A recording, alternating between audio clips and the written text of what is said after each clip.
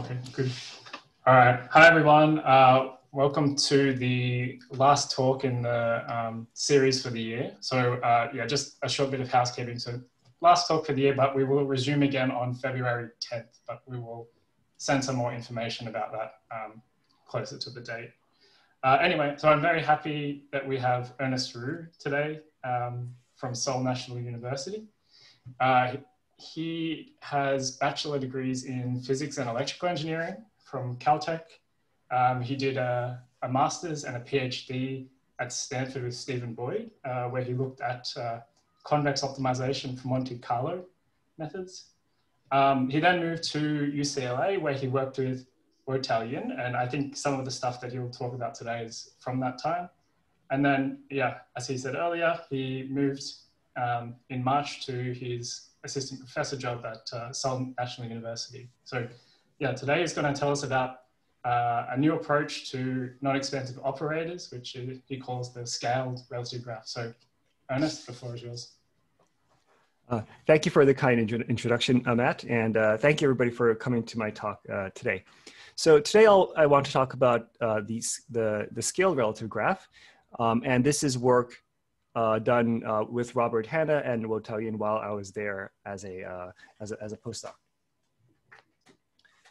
So um, the motivation is that, um, so fixed, so this is a, uh, a, a, crowd with a very strong background in, uh, in variational analysis and uh, monotone operator theory.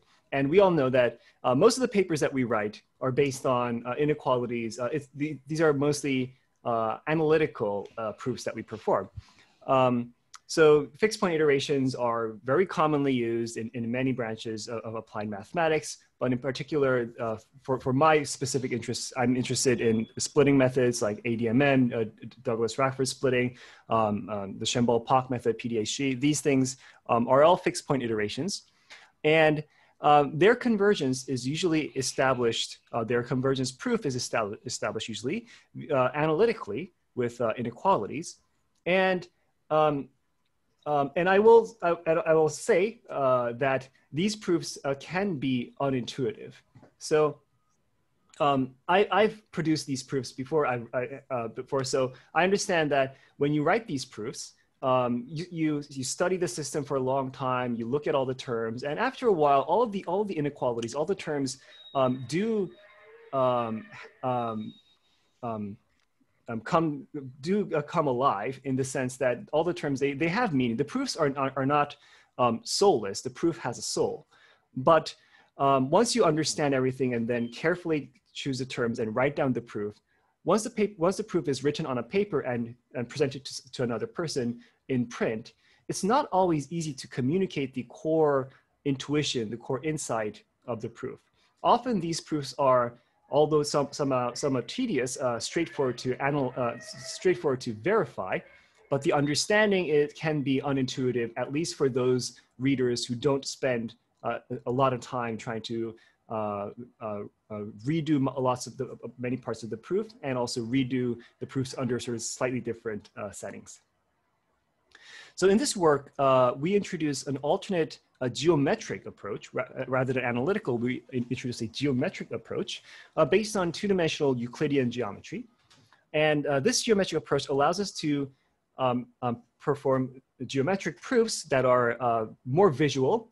And because they are more, more visual, I claim that they are more intuitive.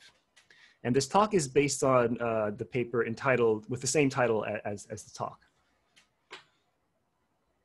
So to give you a rough idea of what kind of results that uh, well, we will be working towards, let me give you a sample result. So let's assume we have a, a function f that is uh, strongly convex and smooth, and we perform the most standard minimization optimization algorithm, gradient descent. Now, this method converges exponentially or, or converges linearly to the solution with uh, this rate. Now, how do we prove this? Well, there are uh, there exists several proofs. Um, actually, this result was only formally proved in 2015, so that's a somewhat of a long story to explain when exact when this ex exact result was proved. But in any case, um, there exist proofs that are based on inequalities, more standard-looking proofs. But we can do something like this. So this circle um, represents the action of the, of the gradient operator where the function is strongly convex and L smooth. It's this circle. And then this translated and scaled circle represents the action of identity minus, uh, minus uh, alpha grad f. So this is the gradient descent operator. The gradient descent iteration is a fixed point iteration with respect to this operator. And its action is represented by uh, this uh, darker circle. And this darker circle um, is a subset of this larger circle. This larger circle uh, is centered at the origin and its radius is made as small as possible uh, while containing it, uh, the, the, this darker circle. And this lighter, this lighter circle has radius equal to this. Now, at this point, um, I haven't really rigorously explained what this means, what these circles mean. So this is at what I described is at best an illustration and certainly not yet a, a rigorous proof.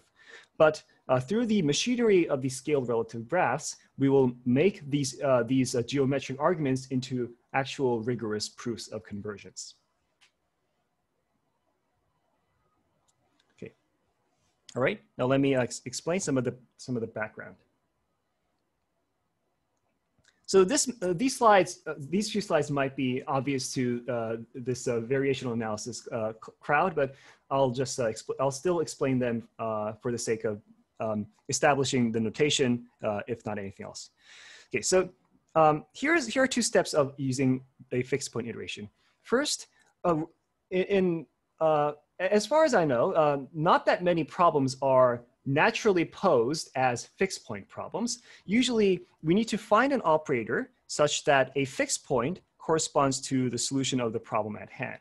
So from an engineering perspective, you might have an optimization problem, but you perform a little bit of you know, transformations um, using gradients and maybe resolvents to, to, to, to find a fixed point, a fixed point encoding so that if you find a fixed point to the fixed point problem, then you get a solution to the optimization problem. So you perform some transformation to obtain a fixed point problem.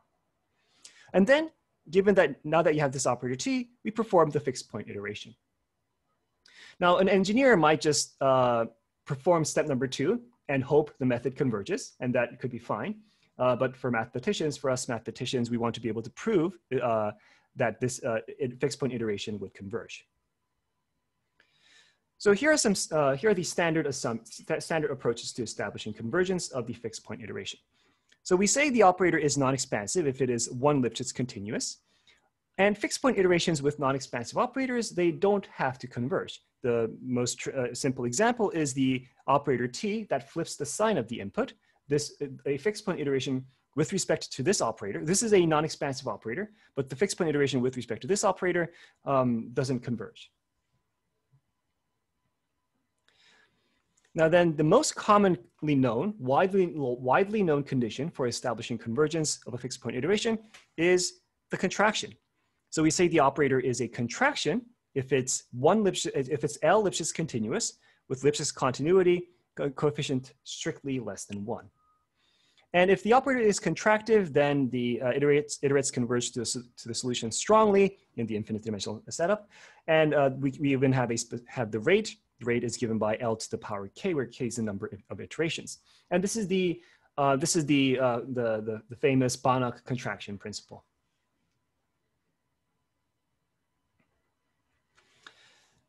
Now, in the optimization world, in the variational analysis world, we are, we are more familiar with, uh, we're also familiar with one more uh, setup, and that's the average, of the KM iteration.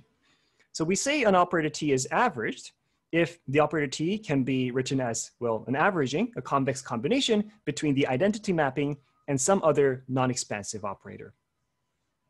If, T, if the operator T is averaged, and if it has a fixed point, so this has to be assumed, it, it's not a given. Uh, um, if, if, the operator is averaged and if there's a fixed point, then the iterates converge to a solution uh, weakly uh, for some, some fixed point.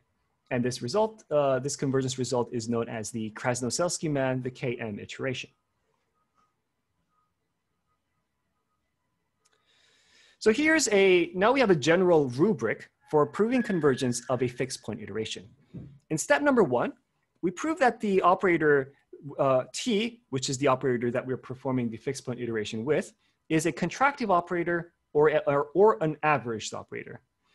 And then we appeal to the argument of Banach or Krasnoselskii-Mann to uh, obtain convergence.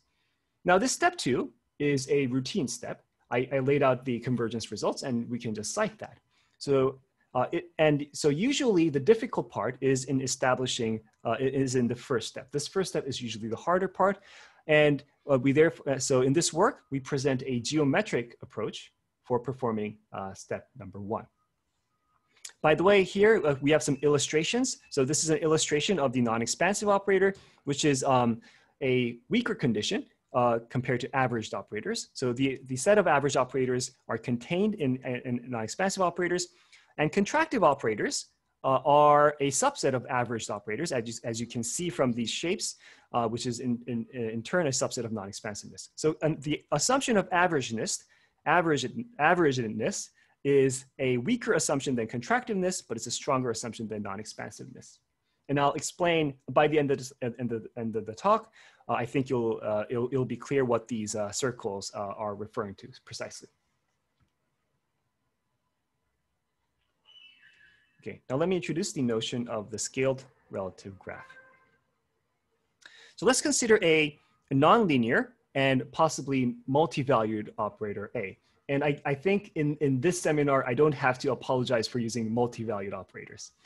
So we'll pick uh, X and Y as two distinct inputs, and we'll pick, oh, this, okay, sorry, this, this slide was actually modified.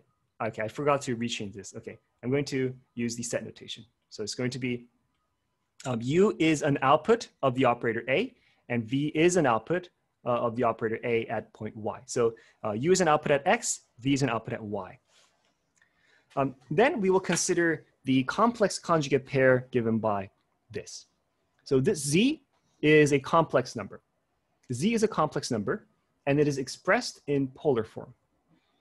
This part is the magnitude of the complex number. And here, here we have an exponent of plus minus i, and this is the, uh, and this uh, denotes the angle between the vectors u minus v and x minus y. Um, when, so when u minus v and x minus y are non-zero vectors, and by the way, x minus y is assumed to be non-zero. So when uh, u minus v is equal to zero, then the angle is undefined. So we just let the angle of value be equal to zero. Otherwise, the angle is defined by taking the inner product um, and dividing by the norms and applying the arc cosine.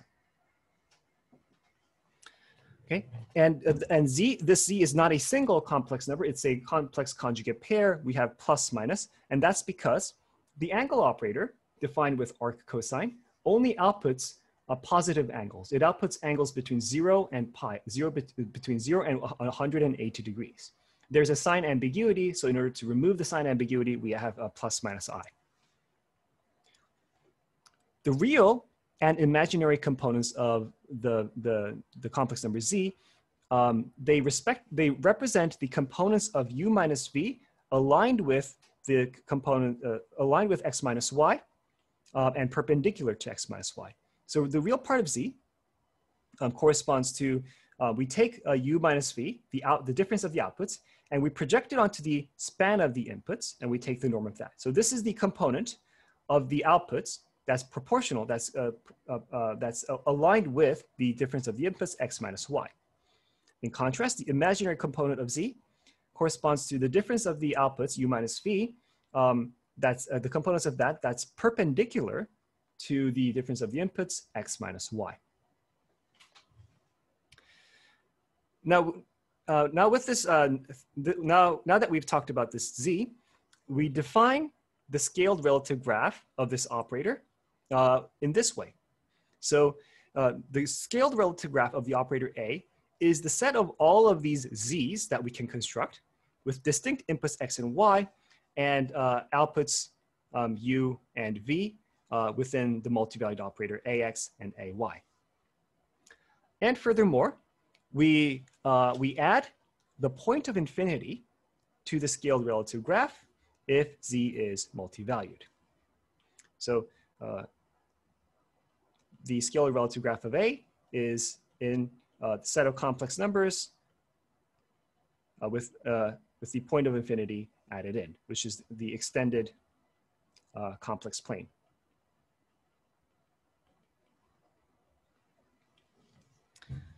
And one interpretation uh, that I, I, think it's help. This is I think this is a helpful interpretation. We can view the SRG, uh, the the relationship of the SRG to a nonlinear operator to be something similar to something akin to the, the relationship between eigenvalues a, to a matrix. Um, the eigenvalues of a matrix does not capture everything about the, the, matrix, but it captures a lot of information. The eigenvalues of a matrix tells us a lot about the action of a given matrix. In, in uh, likewise, the SRG tells us a lot about the action what, of, of a nonlinear multivalued operator. It doesn't tell us everything about what the operator does, but it tells us a lot about what the operator does. So here are some examples of the scaled relative graph. Um, as our first example, this a PL is, is, a, is a projection onto, a, a on, onto some line in the space R2. If we draw the SRG, it becomes uh, this uh, ring. Um, next, we have uh, this linear operator, which, is, which is characterized by this diagonal matrix with uh, diagonals one, two, and three. If we draw its SRG, it becomes uh, this shape. So within this big circle, these small circles are excluded. Um, this is the subdifferential operator of the Euclidean norm in space Rn, where n is bigger than 2. So this is a, um, the, the, the, Euclidean norm without the square is a non-differentiable convex function. So we know that this is a monotone operator. It's a multi-valued monotone operator. And its SRG looks like this. So the or origin is included, but otherwise the uh, y-axis, the vertical axis is excluded. And everything to the right of the y-axis is included and also the point of infinity is included. The point of infinity is included because this is a multi-valued operator at the origin.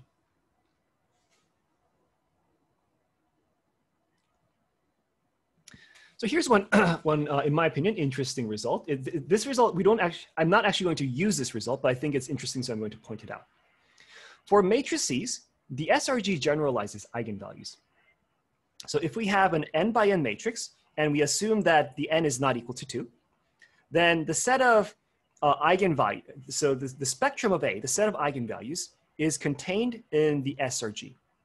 And here's an illustration. So we, we, we take a look at this matrix. Uh, this is, um, this matrix has, if you do the computation, it has eigenvalues equal to two, um, one half plus i and one half minus i. It has three eigenvalues. And its SRG uh, is, well, this uh, uh interesting shape. And as you can see, it, it contains the eigenvalues. By the way, the form of the SRG, the, the, the, the definition and the equations uh, that go into the definition of the SRG um, bear some similarity with the definitions of definition of, of the numerical range, which is also called the field of values in linear algebra. And the notion also seems to be somewhat uh, similar to, uh, it feels similar to the notion of the pseudo spectrum, but uh, as far as I can tell, uh, despite these similarities, there, do, there doesn't seem to be a direct relevance. They, they don't seem to be directly related. So they, they seem to be uh, a, a distinct notion. By the way, the proof of this result uh, fails for um, n equals 2 because the proof actually relies on a certain uh, topological argument where we construct a, a, loop and then we contract the loop to, to a single point. And uh, the sphere in Rn is simply connected for n bigger than two, but it's not simply connected because the, the sphere in R2 is, is, is, is the ring and the ring is not simply connected.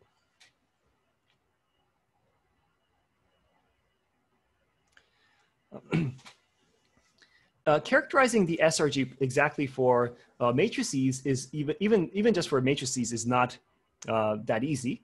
But for normal matrices, we can characterize uh, the, the, the, exact shape of the, uh, of the SRG. So um, if we have a normal matrix, by the way, the definition of a normal matrix is, um, so ATA is equal to AAT, that's the definition of a normal matrix. If we have a normal matrix, then we can exactly characterize the SRG, and it looks something like this. So on the left, we have a, um, a, a, normal matrix with eigen, the SRG of a normal matrix with seven distinct eigenvalues. You can see that this is a, uh, this is a real eigenvalue, and these all, everything else are uh, uh, complex conjugate uh, pair eigenvalues. And on the right, we have uh, an SRG of a normal matrix with uh, six distinct eigenvalues. Um, and these are all real. So because the eigenvalues are real, we can infer that the matrix has to be symmetric. Um, in any case, the precise characterization um, relies on um, an idea from hyperbolic geometry, and it's actually given, uh, this is actually, if you're familiar with the Poincare half-plane model, you'll recognize that, oh, that's, this is the exact same shape. So for some reason, for an interesting coincidence, uh, the, the, uh, the SRG of normal matrices are characterized with the Poincare half-plane model. To be precise, these are uh, straight lines in the Poincare half-plane model.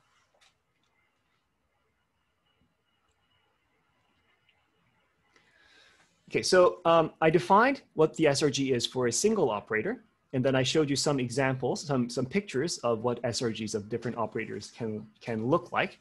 But um, that I, I did that just for the sake of illustration, because what we really want to use is not the SRG of a single operator, but we, for the most part, want to use the, the SRG of operator classes. So um, A is an operator class, meaning A is a set of operators. And we define these, the SRG of an operator class uh, just by taking the union of the individual SRGs of the individual operators that belong to the class. The reason we focus on SRGs of operator classes rather than the SRG of individual operators is because most theorems are implicitly stated in terms of operator classes rather than individual operators. Because, for example, um, a theorem or a lemma in a, in a textbook might say that the operator identity minus A is non-expansive if A is beta over 2 uh, um, is uh, 1 over 2 cocoercive. Now, this, it, this uh, statement is um, it's stated in terms of the individual operator A, but, but the operator A is, is actually a dummy variable here. Really, this is a statement about the operator class. What, the, what, what, what here this is saying is that if we um, the action, the, the operation of taking the uh, identity minus the operator, and the result of that is non-expansive if A is part of the, uh, the class of co-coercive, uh, one, one over two co-coercive operators. So this is more a state, the, this result is more a statement about a, a, class of operators, the class, the operators that, the co-coercive operators, and therefore we can view this, this, this kind of theorem as a theorem stated in terms of uh, operator classes rather than one individual operator.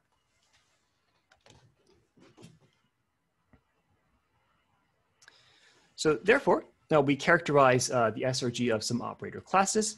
So um, this is the SRG of strongly monotone or just monotone uh, operator operators. As we can see, it's the right half plane, the closed right half plane shifted to the right by value mu. So if it's just monotone, uh, mu is equal to zero. And, and we also add in the point of infinity. This is the SRG of L Lipschitz continuous operator. So it's the circle centered at the origin with radius L. This is the, um, um, the this is the SRG of, of beta cocoercive operators. It's the circle um, touching the origin, uh, touching a one over beta. So its diameter is one over beta. And this is the SRG of theta averaged operators. So it's the circle touching one with radius theta. Oh, and also, uh, this is the SRG of the gradient of mu strongly convex differentiable functions. Um, and this is the SRG of, of the gradient of uh, 1 over beta Lipschitz uh, differentiable convex functions.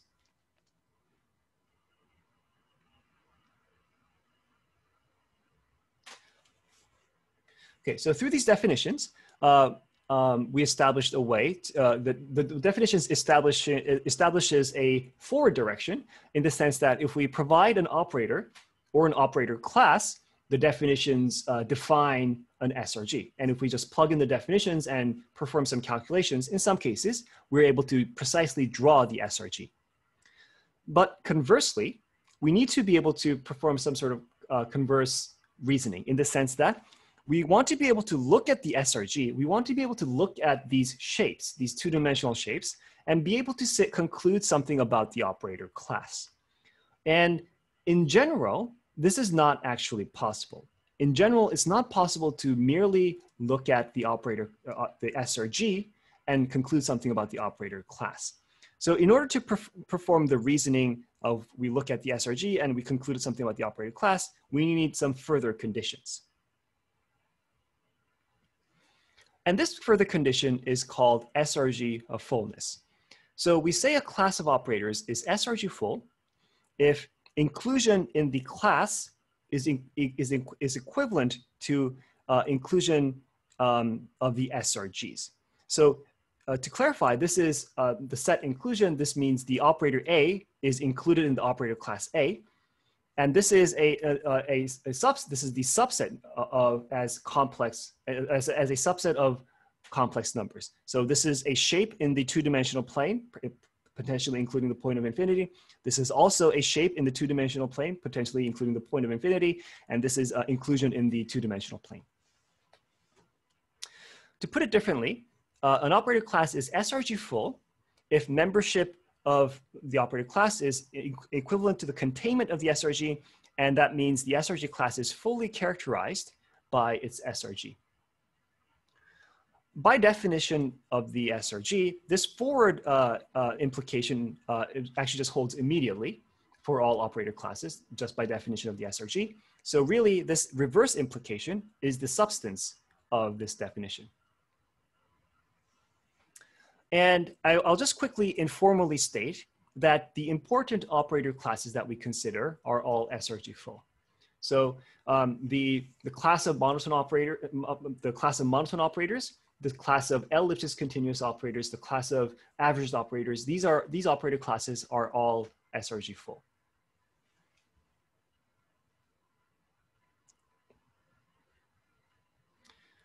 Okay, so now that I've established the SRG um, machinery, uh, let me show you how to use them to prove uh, convergence results.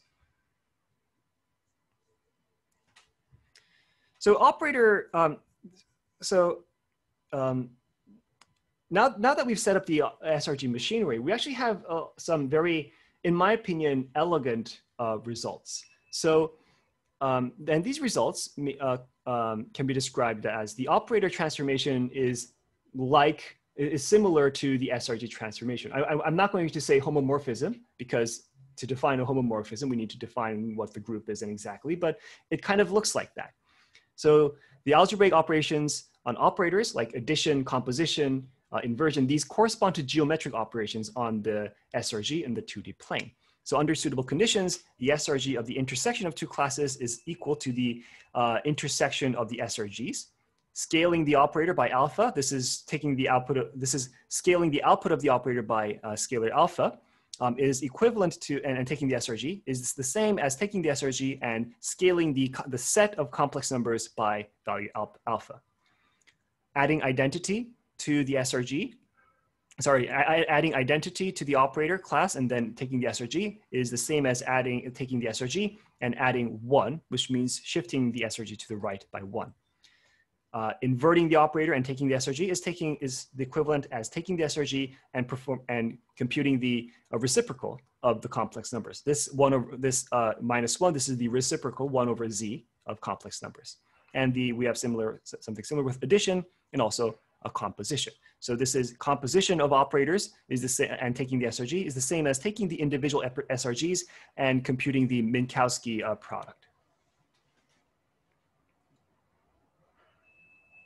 Okay, so the, um, of those things that I had stated in, in, as a list, um, this is a first result. So um, we scale the operator, we add identity, uh, and that's we can do the same in, uh, in the SRG space. So let's use this to prove convergence of the gradient descent method. Let me, I'll provide you with a rigorous proof of the initial illustration that I provided. So this is the same setup. The function f is strongly convex and smooth, and we'll perform the uh, gradient descent method. And this method, my claim is that this method converges exponentially with this rate. Now let's provide the proof. So this, uh, this fact, um, right, this fact is equivalent to saying that this uh, operator is R Lipschitz continuous. So this is the class of gradient descent operators uh, with uh, mu strongly convex and L smooth functions. This is the, uh, the, the, function class of mu strongly convex L smooth. We take the gradient of that, we multiply by, by alpha, and we take identity minus this thing. So this is the class of gradient descent operators. And um, what we want to prove is that we want to prove that is a subset of R Lipschitz continuous operators where R is given by this value. And when that holds, for every iteration, we have a contraction by this amount, and we repeat that k times, and we get the power k. So here's how we do this.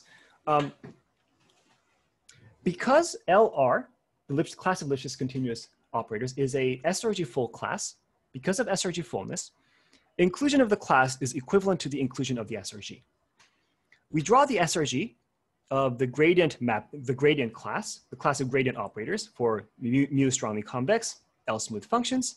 And then we perform the transformation. So we multiply by minus alpha, we add one, we get this SRG for the uh, SRG of the gradient uh, descent mappings.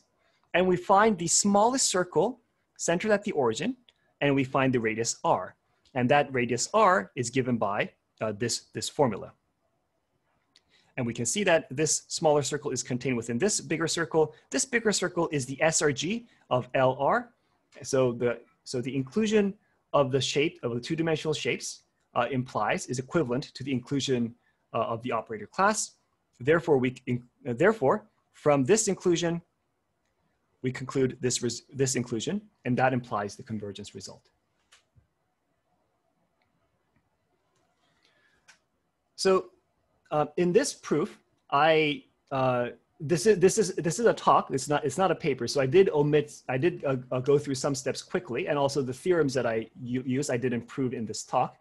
Uh, but this proof is a completely rigorous proof. Uh, this the, this argument is not a illustration.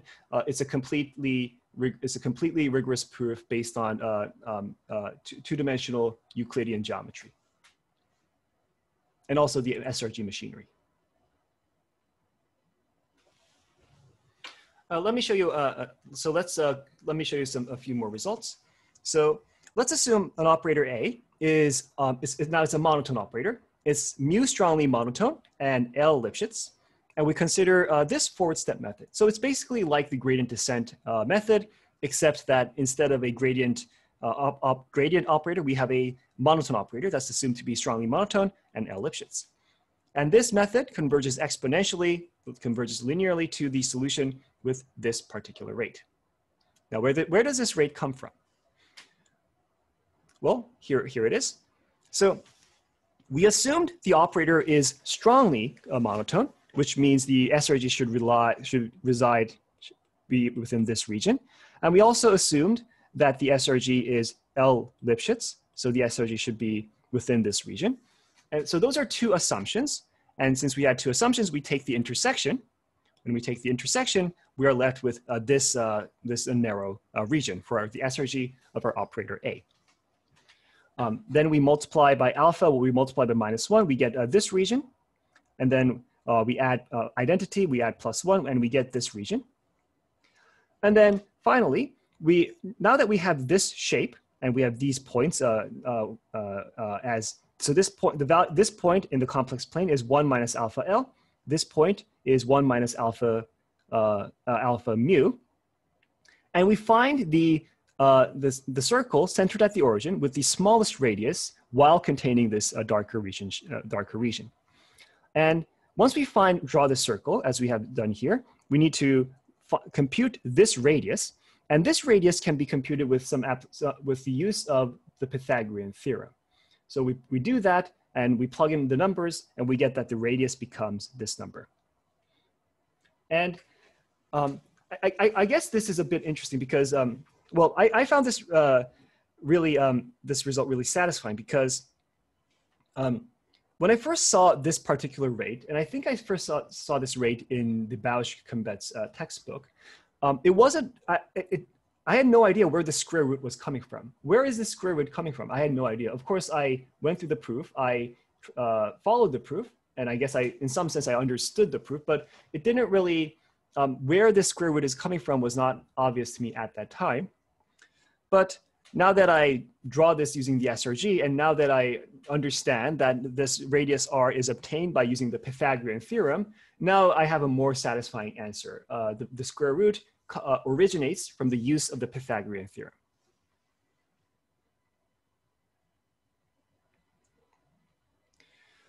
Okay, um, now let's uh, now let me talk. Let's talk about inversion because um, in splitting methods, we use operator inversion all the time, mo more, most spe uh, specifically through the use of resolvents. So, um, so in, in, order to deal with that, we need to understand what happens to the SRG when we perform uh, operator inversion.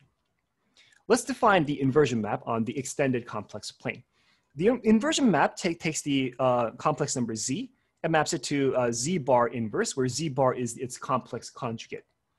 If we express the inversion map in polar form, then we have r times e to the i theta. So r is the uh, non-negative uh, uh, magnitude of the complex number. Uh, phi is the uh, argument of the complex number. And it maps it to 1 over r times e to the i phi. In other words, the inversion map preserves the angle, uh, but inverts the magnitude. The inversion is a, is a classical tool in Euclidean geometry. And I'm using the word classical in a little bit of a um, um, uh, derogatory way. I'm, what I really mean is, is somewhat obscure. But in any case, it's a uh, classical tool, tool, in Euclidean geometry. And by the way, this, uh, this uh, inversion map is also known in a more slightly more general, general form as the Mobius transformation in complex analysis.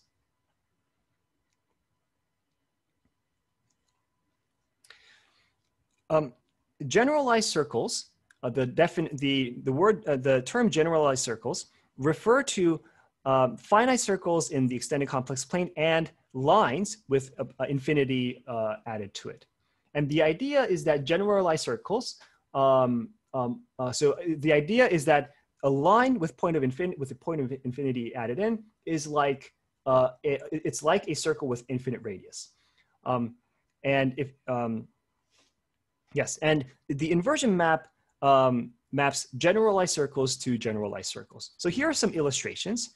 So if we take uh, this disk and perform the, uh, apply the inversion map, we get uh, this region where this boundary is mapped to this boundary and this interior is mapped to this, this exterior. This region, when we, once we, when we apply inversive geometry, inversion map, uh, uh, um, uh, gets mapped to this disk, and this half plane um, gets mapped to this disk. And the point of, of infinity, by the way, is mapped to the origin.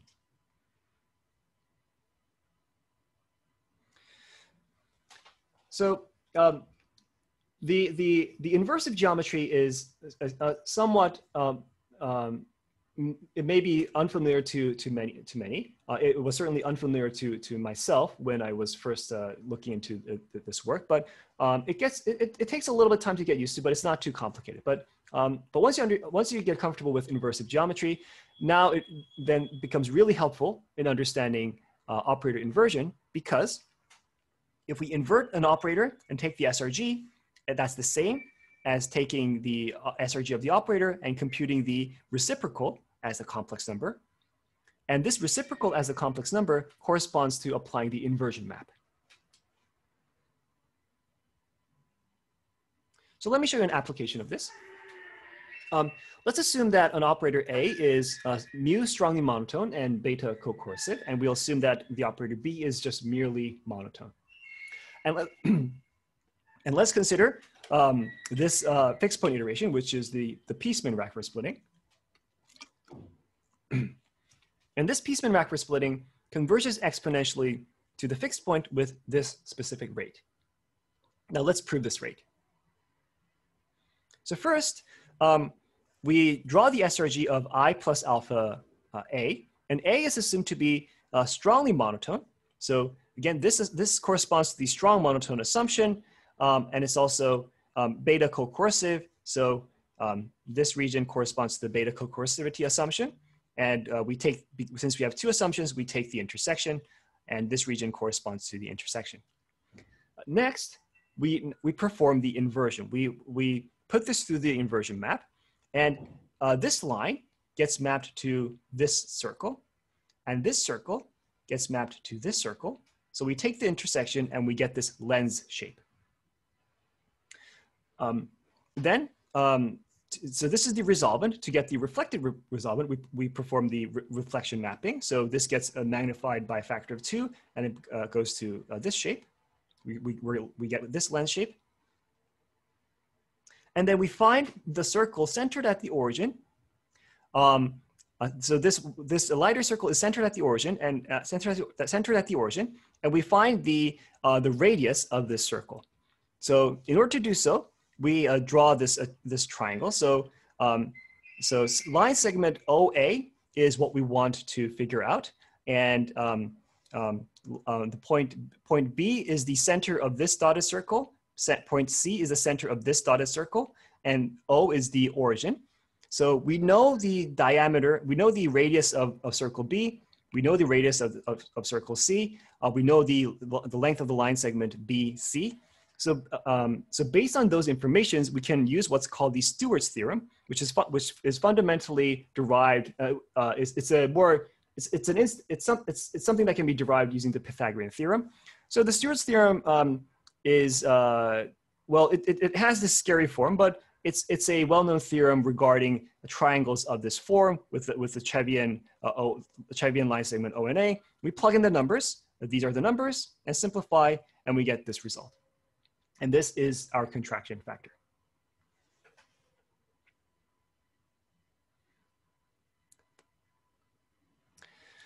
Okay, so um, so that's how we work with um, that's how we work with uh, inversions. Um, now let's talk about uh, compositions of operators. So let's say um, A and B are SRG full classes, the, the nice classes. And let's assume uh, for the moment that the SRGs uh, don't contain um, zero or infinity. Yeah, so let's assume that the SRGs uh, don't contain infinity. Sorry, it, it, it can contain zero. Um, and we, we assume that the, op, the, the class A or B satisfies the left arc property or the right arc property. So the left arc, prop, arc property, uh, these arc property are, are, properties are, I think, defined or, or they're explained most easily uh, with a picture. So let's say this is, let's say this is um, the, the SRG of some, some class. Well, the left arc property says that we pick any point Z within the SRG, and we then we uh, then there's a corresponding complex conjugate z bar, and then we find the left arc, and the left arc uh, is defined as the distance to the solution is maintained constant. So so this distance is the same as this distance. So we draw this left arc. If this left arc is completely contained in the SRG, then this then this class satisfies the left arc property. This is the right arc property which states that we, within the SRG, we pick, pick a point Z, there's a corresponding complex conjugate Z bar, and we draw the right arc. And the right-hand arc is defined as, well, we take these two points, we draw the circle um, with, uh, with the center at the origin and the, the segment between uh, the chord between the Z and Z bar, that's the right arc. And if that's completely contained in the SRG, then it satisfies the right arc property. If one of the operators satisfies one of these arc properties, there's the left and right, right arc property. If, the, if one of the operators satisfies one of the properties, then the composition of the SRGs, um, the, the, the SRG of the composition is the same as the SRGs multiplied as complex numbers. By the way, these are nonlinear and non-commutative operators. So uh, AB is not the same as BA, but the claim in the, the statement of this theorem states that even though AB is not the same as BA as operators, they share the same SRG. The SRGs commute even when the operators do not. Okay, so here's uh, an application of, of this uh, uh, uh composition result. So um, if we have, uh, so this is, let's say we, uh, we have, we're given the problem of finding a point within the intersection of, of two com, uh, non-empty closed convex sets C and D. The most, uh, the most uh, simple method to perform to solving this problem is to perform alternating projections. So we project onto D, project onto C, and that's our fixed point iteration. Um, so P and C, the, the projections are firmly non-expansive. They are one half averaged operators. So we have a composition of two one half averaged operators. And now we want to know what's, what, what does the SRG of this composition looks like. Okay, so we write n one half as the, the class of firmly non-expansive operators. The SRG of these, uh, of, of, the composition of these two classes has uh, this specific shape. Uh, it has this specific, specific shape uh, defined by well, this formula. Um, And this shape is, by the way, it's known as uh, the, the, the, cardioid. And uh, specifically, this shape belongs to the, the larger circle of n two thirds. So the composition of one half average of two one half averaged operators uh, uh, is a two thirds averaged operator. And a fixed point iteration with a two thirds averaged operator converges weakly to a solution by appealing to KM. Therefore, the method of alternating projection converges. Now let me show you the, a, geo, a proof outline, the outline of the geometric proof that establishes uh, this result. So in order to get the SRG of uh, the composition of two uh, um, averaged operators, we take uh, this circle and then we pick a point on uh, uh, this circle and then we connect it to the origin and we draw the circle, the circle starting at touching this point and touching the origin, the circle that takes uh, this line segment as its diameter. So we take this circle, this circle, um, this circle, and then we take the union. And then, but, it, but directly looking at the union of these circles is a little bit uh, difficult, daunting to do at first. So what we do is we analyze the uh, union in the inverted space. So we apply the inversion mapping. This circle, um, this circle gets mapped to this half plane, this circle gets mapped to this half plane, and this circle gets mapped to this half plane. So now, when we to analyze the union of these circles, we uh, can um, um, dually analyze the, uh, the union of these half planes. And uh, you can actually, it turns out that the union of these half spaces, they form a, or the boundary of it forms a parabola. So uh, this is the vertex, this is the focus of the parabola, this is the directrix of the parabola, um, and these are some, some sort of notation uh, uh, indicating the, the exact precise geometry of, these, of, of this parabola. But the point is we can get the parabola and its uh, formula comes out as x equals 1 minus y squared over 4. Okay, so we, uh, we have this parabola, um, and then we find the largest circle inscribed with it to, uh, to the left of the parabola, and then we invert. So this is the largest circle that has matching curvature at this point. It's, in, it's uh, towards the left of the parabola. We, cons we consider the region exterior to the circle. Then we perform the inversion and we get this. So by, and by inverting the formula, we get the precise formula of this uh, heart shape, which is the cardioid, which involves the cosine squared. And by inverting this uh, uh circle, a, a, white circle, we get uh, this region, which, and this uh, one, one minus one over three, this corresponds to the two thirds averaged operator. Okay, okay finally, finally uh, let me conclude. So the SRG maps the action of an operator to the two-dimensional plane. And it's really nice because algebraic operations on, uh, on the operators correspond to geometric operations on the SRG.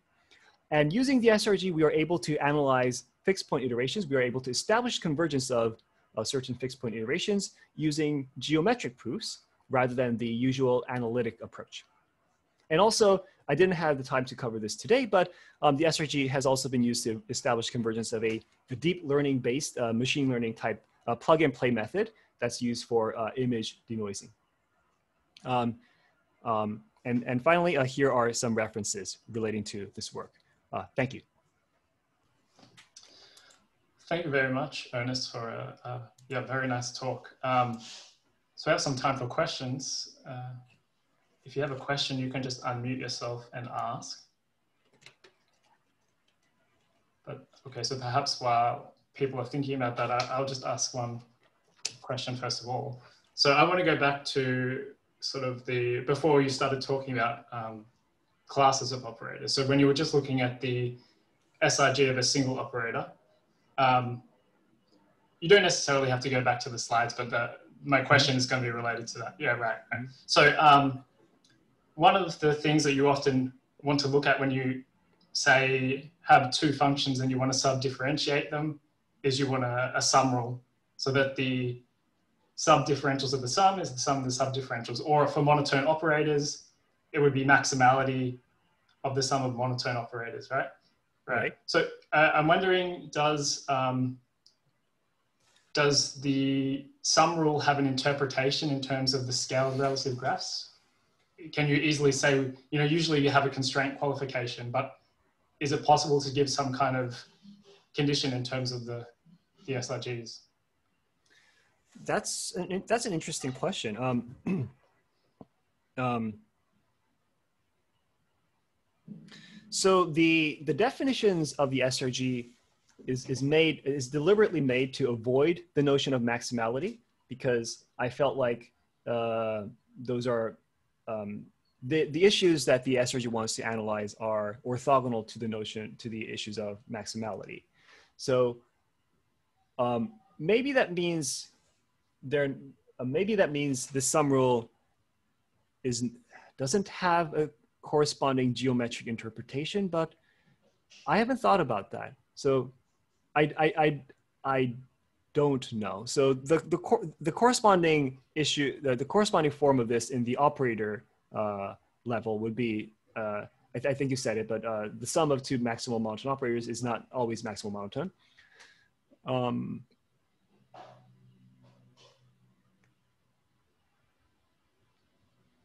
I, I think the answer is um, the SRG as is uh, doesn't capture that phenomenon, that uh, the, the del that delicate phenomenon, but um, I wouldn't rule out and say the uh, the ideas are completely unrelated. They they might be. I, I, I would have to think about that a bit more. Okay. Yeah. Thanks. Great. Mm -hmm. Well answered. Um, any other questions from?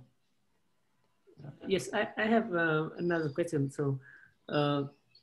Uh, you, you saw that you, you can use um, SRG notion to prove um, averageness of several operator, right? Mm -hmm. So uh, can, can we apply the same technique to, uh, to prove the averageness of um, uh, some more complicated operator, let's say uh, three operator, three mm -hmm. of, of Davis and, and, and uh, Right. So um, so the uh, the answer is um, so no, at least not that I, I not not yet. So for the Davis, actually the, the proof in, in, in the in the paper of the of, of, of Damek and and Wotao is is the delicate, right? yeah. So yeah, so so that proof is, is not that easy to follow. So um, what we were able to show is that the uh, the SRG or um, um, okay, the SRG of um, uh, Davis and uh, Wotao Yin uh, is equal to. So we, we we do precisely characterize the SRG, um, and this is just equal to the uh, SRG of of averaged operators. So uh, in one of the references that I listed at the end, uh, we do precisely characterize what the SRG is. But in that work, what we do is the proof of averageness that we just we just cite that, and then uh, the but the point of that paper is that um, we established that by showing that the SRG looks exactly like this, it's not it's actually not possible to find a better proof than what Damek Davis and Wotao Yin has presented. So the, the, proof, the proof of convergence, uh, the proof of averageness comes with an averageness coefficient, and uh, you would want the averageness coefficient to be smaller if possible, because that would lead to a better constant in the one over k convergence rate. So we were able to use, through geometric arguments, show that uh, their proof is tight. But, but we, were, we were not able to find a fully geometric proof that replaces their proof. Oh, okay, okay. But at, at least you can show that is you we, we cannot go further. Right? We can we cannot have time. Yeah. Right, right. So so their proof is so their proof could be clean. It could be made more uh, uh, easier to read. So it could be improved in that way. But the conclusion of the uh, of the proof of the proof of the result, the conclusion, the result itself is uh, is is the best you can show. Yes. yes. Okay. Okay. Thank you. Mm -hmm. Thank you. Okay. Vera, looks like you have a question there. Yeah. Is uh, Vera? We don't hear Vera. It seems like her your your, your mic is uh, it says it's unmuted, but we can't hear you. Yeah. That's odd because we, we were conversing before the, the start of the seminar. So Okay, yeah, sure. Yes, yes.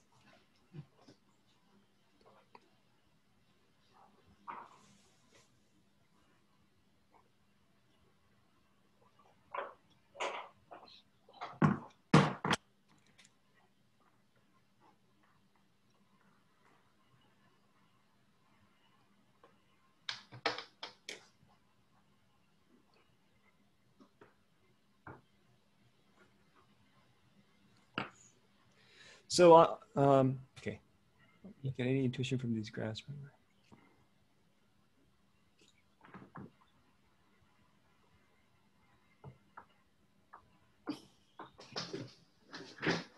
So, uh, which counterexamples are you referring to?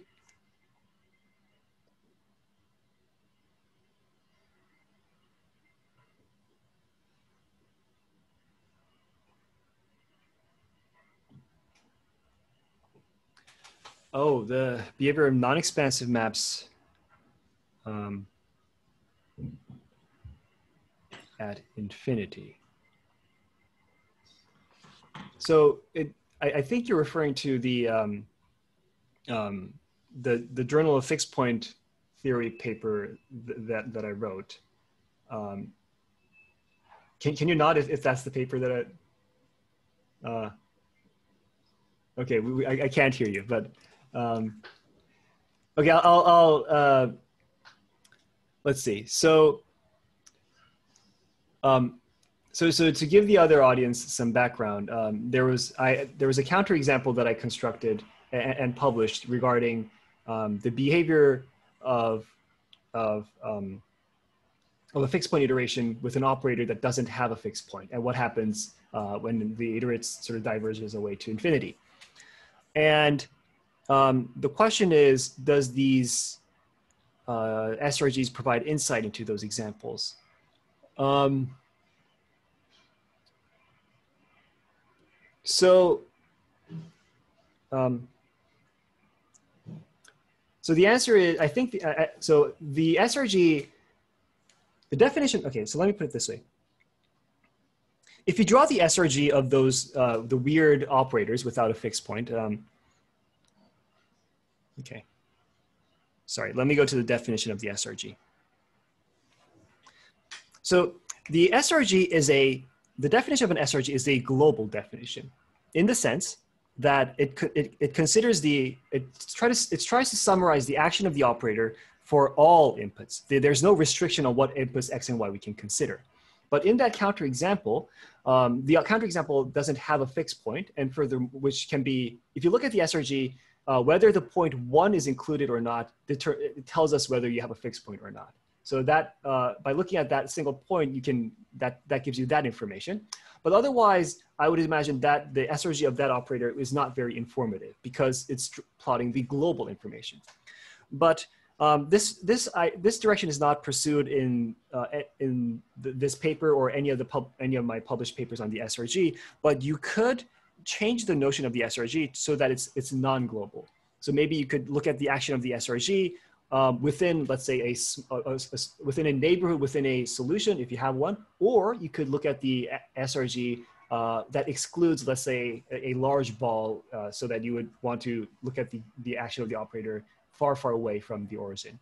If you do something like that, then I think you would be, it would be possible to um, get some insight as to into those uh, into those operators um, that that uh, that uh, for, for which the fixed point iteration diverges to infinity because we're trying to understand what what the the, the the action of the operator at points far away from the origin. So by appropriately modifying the definition of the SRG, I think you could do that. But the, the but this with this global definition, no. But with uh, with a little bit more work, I think we can. Okay. Thank, thank you for the question. uh, okay, so maybe we have time for uh, one more question, if.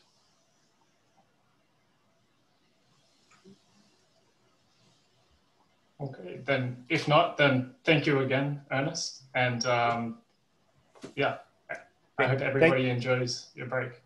Okay. Thank you everybody for, for listening to my talk. Yeah. And thank you, Matt, for, for the opportunity to speak. Okay, thank you for your nice talk.